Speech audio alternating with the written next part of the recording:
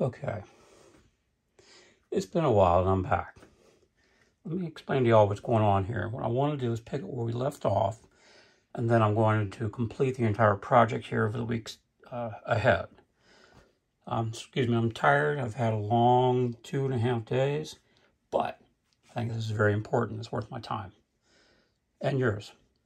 Okay, if you recall and you've been following me along, this has been about my one-way stator.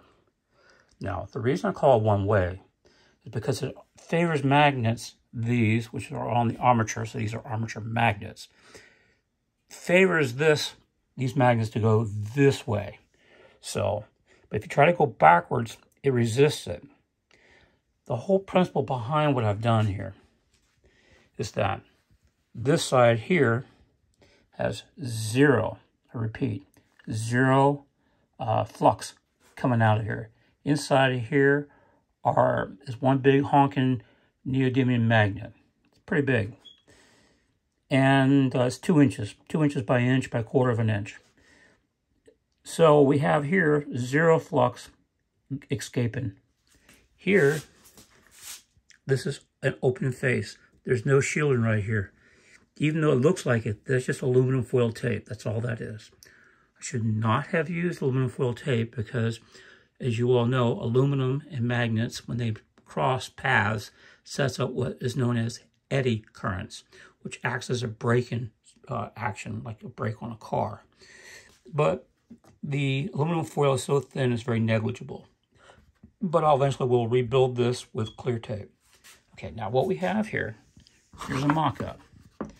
Here's an empty one, no magnet in it.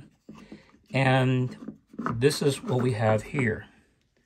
It's just this one here. It's missing the other two layers inside. But the lines inside illustrate where the other two layers of shielding would have gone. Okay, and then where, of course, the magnet would have ended up inside. Now, let me show you how this actually works, because it is one way. The way we can tell that is by doing this. If you take this, you give it a little nudge this way, it wants to bounce back. A little nudge. One more nudge.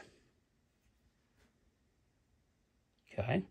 Now, if we take the same magnet and nudge it this way, watch what happens. Just a little tiny nudge. Oops, I didn't give it quite enough. A little nudge. Uh, there you go. Went right on through. That's the key. It went through. The, uh, here's what's going on. Newton's third law of motion says for every action, there's an equal and opposite reaction. If that was true in this particular case, this magnet would go here, back and forth, back and forth, littler, littler, littler, until it found its equilibrium in the middle. But it won't. Actually, watch, watch what happens when I let go of this It takes off. Now, that's not supposed to happen, at least not by Newton's third law of motion. Now, because this side here has zero magnetic flux attraction, that means the only attraction here is magnet to steel. Instead of on this side, we have magnet directly to magnet. These are opposing forces, so these are like forces, so it pushes it. So once it clears through here, which this, this plane here is at a tilt. So because it's at a tilt to this plane, it acts like a ramp. And the magnet pulls and sweeps in. And then when it gets to the other side, then the magnet sees the, the positive force, is taken off again, sees the like polarity and just goes, okay? So that's why this works. Back it up again, just a little bit of a nudge and voila, okay? It's not supposed to do that, at least by Newton's third law of motion, it's not supposed to. The whole premise of my idea here was real simple years ago. Magnet, magnet to magnet attraction is far stronger than magnet to steel. So the, the difference between those two attractions can be used to set up an imbalance in the system. Because if the system is balanced, then Newton's third law of motion takes over and nothing works, nothing goes anywhere. So That's the whole premise here behind what I'm doing. Now, to show you how well this works, check this out. I claimed, I said there's no magnetic flux back here. This is a box, like this one here, all the way around, except there's two other layers missing. Those layers are over here. In a moment, we'll get into that. If you take a screwdriver and you tap the back of this, nothing happens. Go to the front, doesn't stick to the screwdriver. But if you turn this around, and now you do it to the front, now it sticks. So what I have here is a completely shielded magnet to the point there's just no flux coming out, none. If there's any, it's so little, it's, it's negligible. Okay, so that means when this magnet is sees this and is approaching the back side of this, yes, the back side. This is this is the face, that's the back side. The magnet at an angle is swooping down in a circle, like coming in for like a landing, like an airplane. It comes in here at an angle, swoops across this, because this is tilted in relationship to the other magnet. And it picks up speed because it's magnet to metal attraction. Then when it gets to the end of this, it runs out of runway. And suddenly it goes off the end and the positive or like polarities see each other and then it pushes it. So it attracts it here, pulls it across, the momentum or inertia takes over this edge just enough. That's all you need. Just enough counts. And then this field of repulsion takes over and pushes the magnet on through. This is not supposed to be possible under the law of Newton's third law of motion. Anyway, it works. Okay, so this is how I do the shielding. It makes this happen. Now, there is a video online that I put up first called Shielding. It's, I think the title is called um, Shielding, the Magic Bullet. About two weeks later, a month later, I don't know how long afterwards, he put up another video named after mine saying shielding is not the magic bullet. He performed his experiment wrong. What he failed to do in his experiment is he took his shielding and put it directly up against a magnet it doesn't work that way because the current, the, the um, flux just transfers directly from the shielded directly into his magnet and vice versa. Okay, what you have to do here to make this work, the way you see here, the way this works, you have to create spacing. I'm using these spacers that came with the magnets. They're a quarter of an inch spacers, and apparently the industry, the, the magnetic industry who makes these magnets, recognizes that if you get it just about this far apart, then the person who purchased the magnets can easily separate them from one and another without a lot of trouble. Okay, so I use these as spacers. They're perfect. This spacing changes everything. There's much less than this width of this. It doesn't work.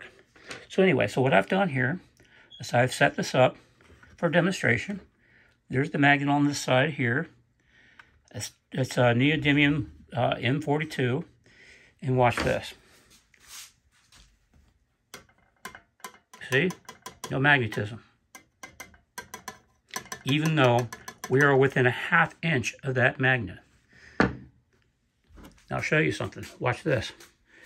I'm pretty far away from this, and this is affecting that wheel. These magnets are powerful.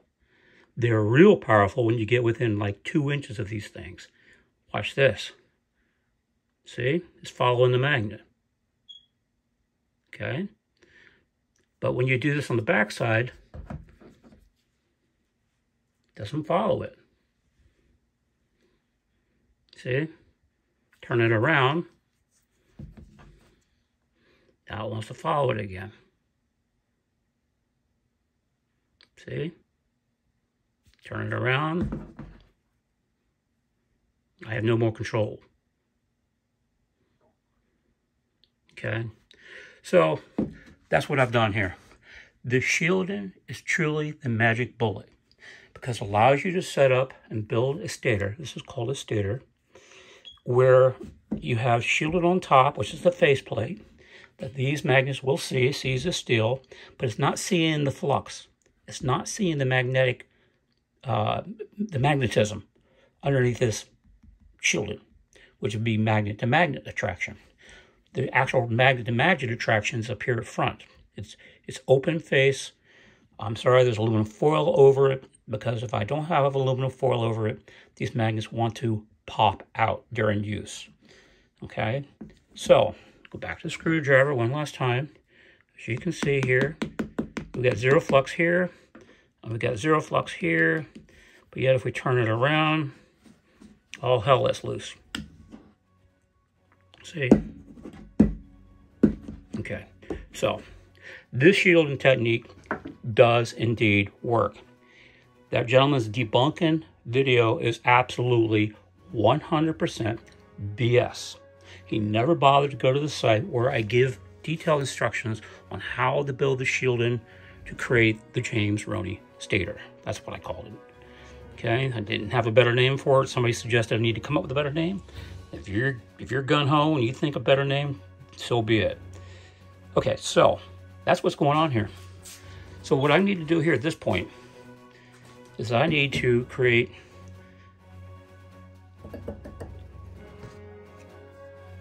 one stator here. See how it took off all of a sudden? Look at that. See that? I just put it there and it went, took off.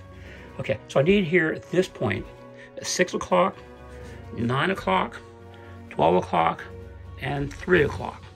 I need to build three more stators like I had been saying before. I built another one. But I took it apart so everybody could see what was going on because a lot of people thought there was something magical going on. In fact, the, the batteries I used to use in these things, turns out I don't need them. I was using dead batteries to shun the, the, the flux. Well, as you can see here, it, it works fine without the batteries.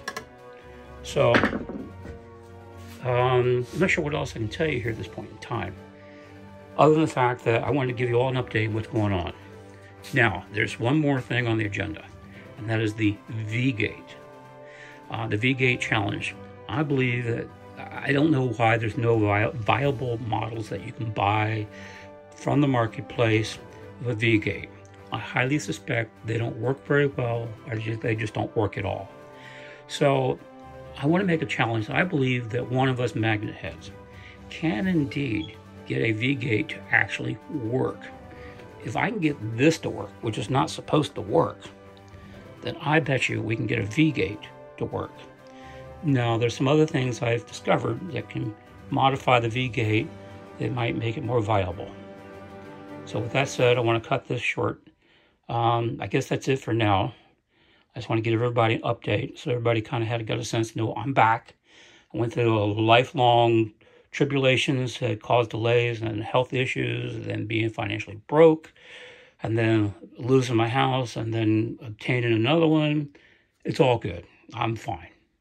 And some of you all out there contributed uh, some money for me to buy um, exotic magnetic shielding. That money will indeed get used for magnetic shielding, finally. It's still there on GoFundMe. It, the money's still sitting there. I haven't touched it on purpose. Alrighty, um, that's it. And I'll get this uh, shielding ordered and so we can take this to a new level. Alrighty, uh, thank you kindly so much for watching. Take care.